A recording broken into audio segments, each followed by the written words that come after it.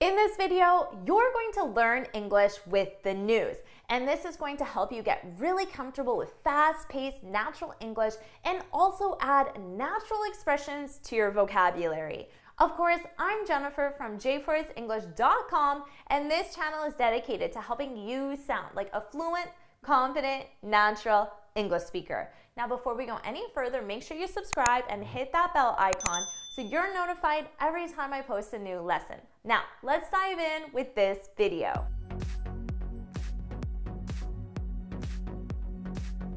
In this video, you're going to learn English with the news. So here's what you're going to do.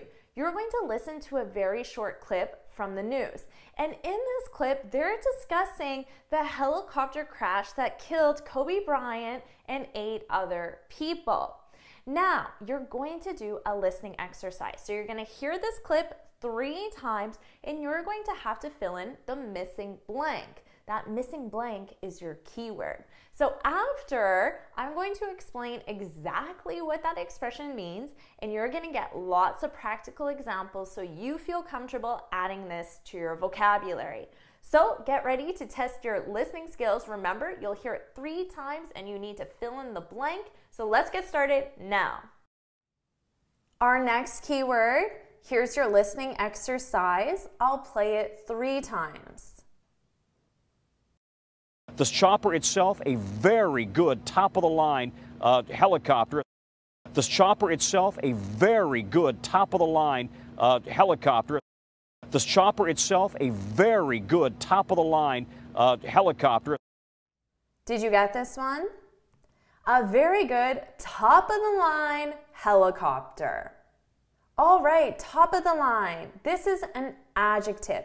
Now, notice for pronunciation, I'm really saying topa, top of the line. I'm not pronouncing this as of, topa, top of the line. And this means to be the best quality or you can think of it as the most expensive of its kind available. So let's see this adjective in some example sentences. And remember, with this adjective, it's luxury all the way. So here's some examples. You can't go wrong with this model, it's top of the line. So here, this adjective is being used to describe this model, right? This model. That's the it's top of the line. And pretty much any consumer good that has a price range, we can use this adjective. Another example, we just got a brand new top of the line hot tub. Okay, this looks really long because we have two adjectives. Brand new is one adjective, and then top of the line is the other adjective. And they both describe the hot tub, right? So notice this article belongs to hot tub. We just got a hot tub, but then I'm putting my adjectives before our noun.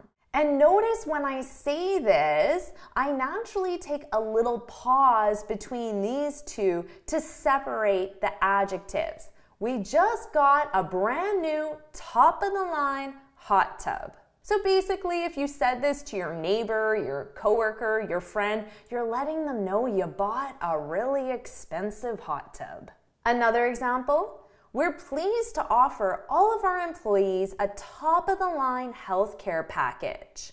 So here, our adjective is being used to describe the healthcare package.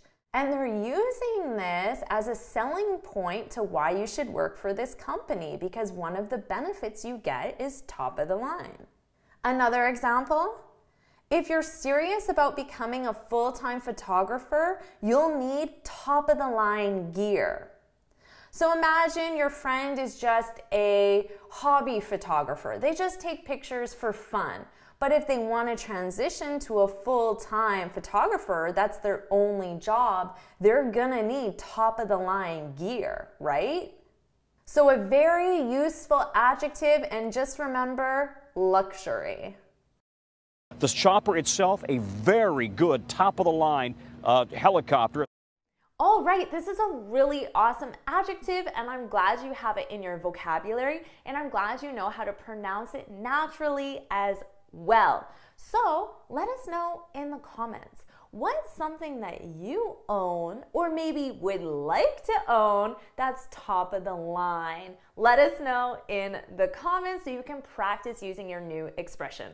If you found this video helpful, please hit the like button, share it with your friends, and of course, subscribe. Now, before you go, make sure you head on over to my website, jforrestenglish.com, and download your free speaking guide. In this guide, I share six tips on how to speak English fluently and confidently. And until next time, happy studying!